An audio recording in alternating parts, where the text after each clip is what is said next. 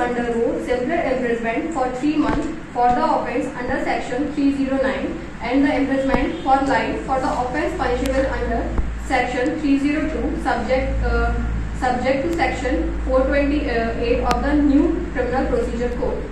The prosecution case briefly state was under Phulabai is a wife of applicant Sadhu Pandugar Sinde.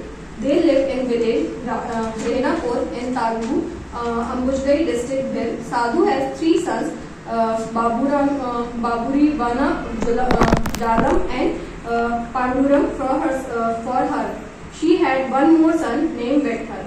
For her, who was aged one and a half year, Phulabai has physically illness since about one year prior to the death of the Vithal, August 2, 1974. In spirit of medical treatment, the, uh, the illness was persisting. Vithal was also suffering from ricket from about two months earlier to his death.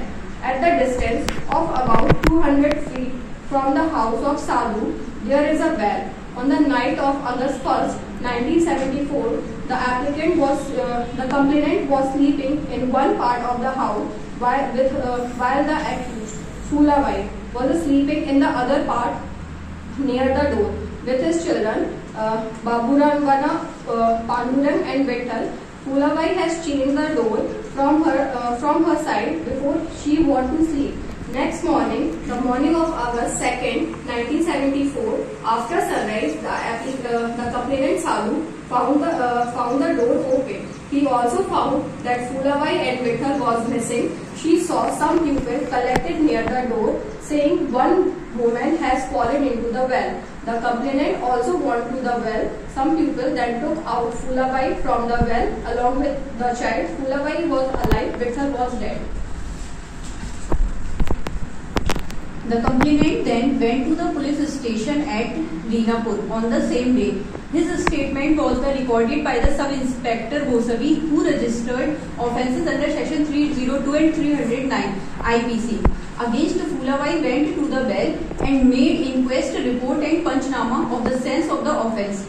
The child was sent to the dispensary at Renapur for post-mortem while Phulabai was sent there for treatment. After completing the investigation, a charge sheet was filed against her under section 302 and 309 of IPC. In the court of the judicial magistrate first class, Ambajogai uh, alleging that the accused Phulabai was ailing for a long time and was fed up their life and hands out of frustration. She took a jump along with the deceased infant Vithal to end her life and the life of Vithal because Vithal was also not keeping well. Good morning, sir. I would like to present the defense. The defense of insanity is a uh, law that protects a person who is incapable of understanding the nature of the act done by him. Under Section 84 of IPC, a person of unsound mind uh, shall act in nothing is offence committed by uh, someone who is currently unable to know the nature of the act or does what is wrong or contrary to the legislation due to the lack of sound mind. The accused was in a state of unsoundness, uh, the mind at the time of the act. She was unable to know the nature of the act or do what was either wrong or contrary to the law. Lack of the intention. There is a well-established principle, actus non facit reum nisi mens sit reum, uh, which in literal sense mens rea in act does not make offender liable without a guilty mind. The intention or guilty mind of the offender is an integral part of the while committing a crime. The defense of insanity is a law that protects a person who is incapable of understanding the nature of the act done by her. Irresistible impulse. The accused is suffering from the irresistible impulse. It is a sort of insanity uh, where she is unable to control her actions. Even she has an understanding that he, uh, the act was wrong. There are certain rules of incapacity to know right or wrong.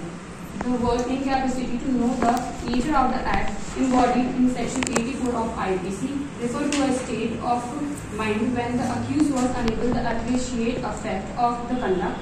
It would mean the conduct of the accused in every possible sense of word and such insanity must sweep away his ability to understand and appreciate physical effect of his act and incapacity to know the nature of the act. In order to use the defense of insanity under the latest part of section 84 namely or to do what is either wrong or contrary to the law it is not necessary that accused should be completely insane.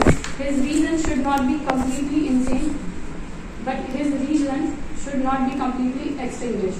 What are required is to be established that although the accused knew the physical effect of his act he was unable to know that he was doing what was the either wrong or contrary to the law. This part is essential in the section 84 to understand the medical insanity of the accused. In this connection, only on the circumstances that the body of the Phulabai was found along with the dead body of Vithal next morning, it is difficult to hold that the only inference which could be drawn by mere discovery on the next morning was necessarily that uh, the accused herself knowingly and intention, intentionally jumped into the well to commit suicide. Although the burden of proof of the uh, defense under section 84 is on the accused, that the burden is not as heavy on the accused uh, as on the prosecution. The state submitted referring to the Panchnama of the sense of offence and other circumstances uh, that there was a uh, wall around the well. There could not be accidental fall. But that does not mean the possibility of the accused doing something uh, by reason of unsound mind, uh, unsound mind. In a state where she was incapable of knowing what she was doing uh, at night was not possible. It cannot be totally ruled out. And therefore the benefit doubt out to have given to her. To establish a defense based on the insanity, it must be ascertained at the time of uh, pertaining the the accused was in a such state of mind as she was unable to know the nature of the act committed by her. She didn't know the nature and the qualities of the act she was doing. Uh, she was unaware of the act.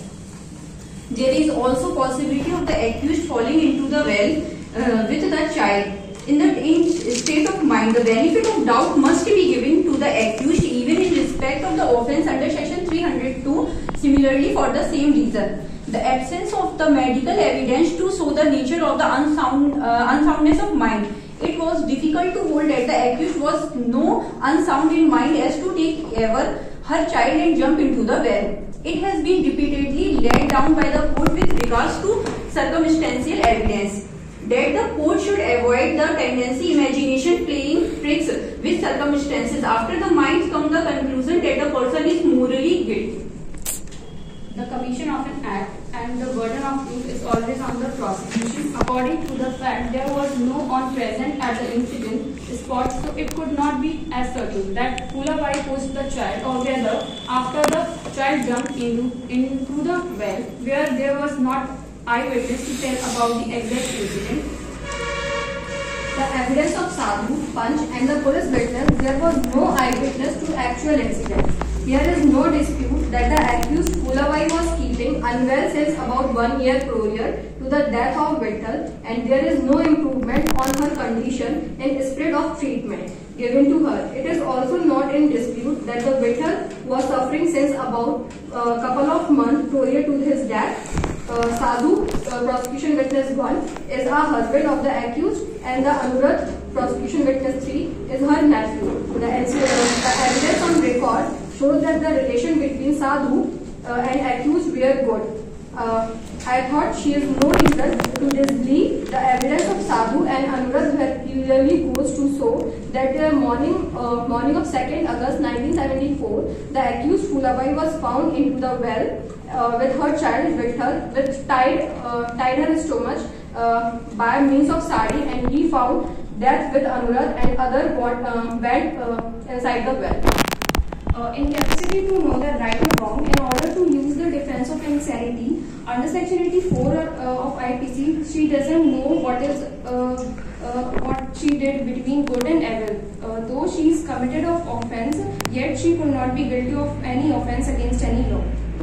Phulabai was suffering from medical illness for a year, so neither did she have any intention nor any pre-planning, so their incident would not have become a 309 of IPC held on murder but in accident. There are landmark judgment. Ratan Lal versus State of MP 2002. It was well established by the court that the crucial part of time which the unsound mind should be established is the time when the is actually committed and whether the accused was in such a state of mind as to be entitled to benefit from section 84 can only be determined from the circumstances that preceded, attended and followed the crime. In other words, it is the precedent behavior attended and subsequent to the extent that may be relevant in determining the mental condition of accused at the time of the commission of the offences but not remain in time. In the case of Jailal versus Delhi administration, here the applicant killed a small girl with a knife and even stabbed two other people was convicted under section 302 of the IPC. It was pleading by the accused that he was suffering from insanity with, uh, with the ambit of section 84 IPC. It was observing that the accused, after being arrested, have uh, give normal and intelligent uh, statement to the investigation officer. Nothing abnormal was noticed in this in his behavior. Considering all these findings, the Supreme Court held that the applicant was not insane at the time of the commission of the act and was well aware of the consequences of his act. He was held guilty uh, from murder under section 302 IPC. There are some other related cases in Kamla Bhutia versus West Bengal state. It was held that there is no motive for murder. Uh, the accused made no plea or not attempt to remove any weapon. The accused was entitled to benefit from section 84 and hence the accused was proved insane at the time of commission of the offence and was guilty of uh, culpable homicide and not murder. In another case, uh, Shrikant Anandrao Bhosle versus State of Maharashtra, it was held that the accused was suffering from uh, and he was incapable of comprehending the nature of the act committed by him. Uh, therefore, he was not guilty of murder and will be given the benefit of section 184 of IPC. Uh, in the case Hari Singh versus the state of Madhya Pradesh. The Supreme Court observed that the Section 84 set out the legal test of responsibility in cases of alleged men mental insanity. There is no defi uh, definition of mind unsoundness in IPC. However, the court have mainly treated this expression as equivalent to insanity. But the term in, uh, insanity itself does not have a precise definition. It is the term used to describe various degrees of mental disorder. So every mentally uh, person is not uh, ipso facto exempt from criminal responsibility. A distinction must be made between legal insanity and medical insanity. A court is concerned with legal insanity, not medical insanity. The fact is, uh, there is no intention and pre-planning, so it does not fall under 302 and 309. It is an accident by suicide. So there is uh, another case which is Gian Kaur versus State of Punjab 1996. In this case, five judge bench of the Supreme Court upheld the constitutional validity of IPC section 309. However, in 2008, the Law Commission in its report said that in attempt to commit suicide needed medical and psychiatric care and not punishment. The accused must be held guilty of offence under section 302 and 309. The section 84 of the IPC did not apply to this case as she had not discharged the burden on her of the proving she was the time of commission of the offence by reason of unsoundness of mind incapable of knowing the nature of the act or that she was doing what was either wrong or contrary of law. As we have earlier mentioned that there was no uh, on present at the incident spot, so it could not be ascertained that the puller by uh, the child or whether after the child jumped into the well. There was no eyewitness to tell about the exact incident. And there is no evidence provided by the prosecution side. In the case Surendra Mishra versus State of Jharkhand, it was pointed out that very uh, that every person suffering from mental illness is not exempt from criminal liability. There are landmark judgment Shiny Kumar versus State of Kerala 2015. In this case, the accused is younger, son of his parents. The victim, the accused was age about 40 years at that time. The incident occurred. So, uh, September 2015 when the accused was home alone with the two victims. A case was registered after investigation. A final report was filed alleging commission of offence punishable under section 302 of IPC by accused. Accused denied the charge frame and did not accept plea of insanity set out by accused. It was further stated that no motive has been proved for accused to cause death his parents and the fact is that he had no not made attempt to run away was indicate that he was insane. Here is the absence of medical uh, uh, evidence to show the nature of the unsoundness of mind. It is difficult to hold that the accused was so unsound in mind as to take even her uh, child jumped into the well. It is uh, it, ha- uh, it has been repeatedly laid down by the court with regarding the circumstantial evidence that the court should avoid the tendency of imagination playing trick with circumstances after the uh, mind coming in the conclusion of the person is um, uh, morally guilty. As in defense of 84, she didn't know the nature and the qualities of the act she was doing. She uh, was unaware of the act, and that time she is suffering from that disease.